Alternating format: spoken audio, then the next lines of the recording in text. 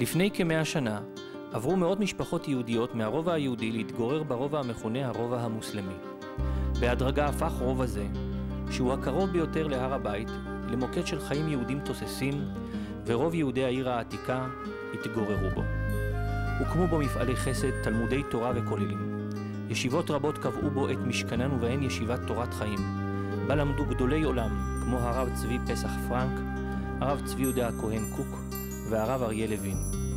הפריחה והשגשוג נקטעו בזמן פרעות תרפ"ט.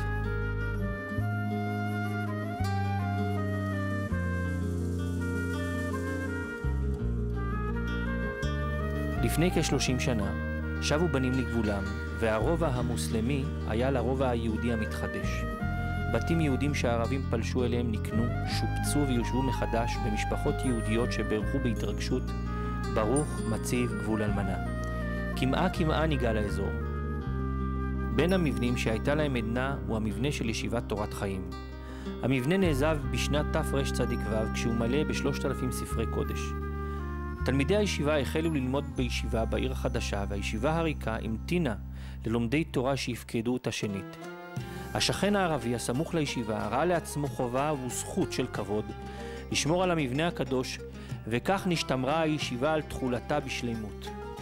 זוהי הישיבה היחידה מבין 80 ישיבות ובתי כנסת בעיר העתיקה שלא חולל או נהרס בימי הכיבוש הירדני. הישיבה מונה כיום כ-200 תלמידים, מתוכם 70 אברכים. סמוך לישיבה שוכנת מכינה קדם צבאית, ובה כ-30 בוגרי תיכון, המתכוננים בגופם ובנפשם לשירותם הצבאי. האברכים, כמו רבני הישיבה, חיים בצניעות רבה. תנאי הלימוד בישיבה אינם פשוטים. הצפיפות בבית המדרש הקטן והפשוט היא רבה, ובאמצע היום הופך בית המדרש לחדר האוכל. הישיבה חרתה על דגלה יראת שמיים, לימוד תורה ואהבתה ומחנכת את תלמידיה למעורבות ולאכפתיות כלפי החברה הישראלית. השאיפה היא לקרב כמה שיותר יהודים לחיי תורה מלאים, שלמים ושלווים, חיים של אמונה ואהבה. רבים מבוגרי הישיבה משולבים במערך הצבאי הלוחם, ומהם לא מעטים מגיעים עד לדרגות בכירות בצה"ל.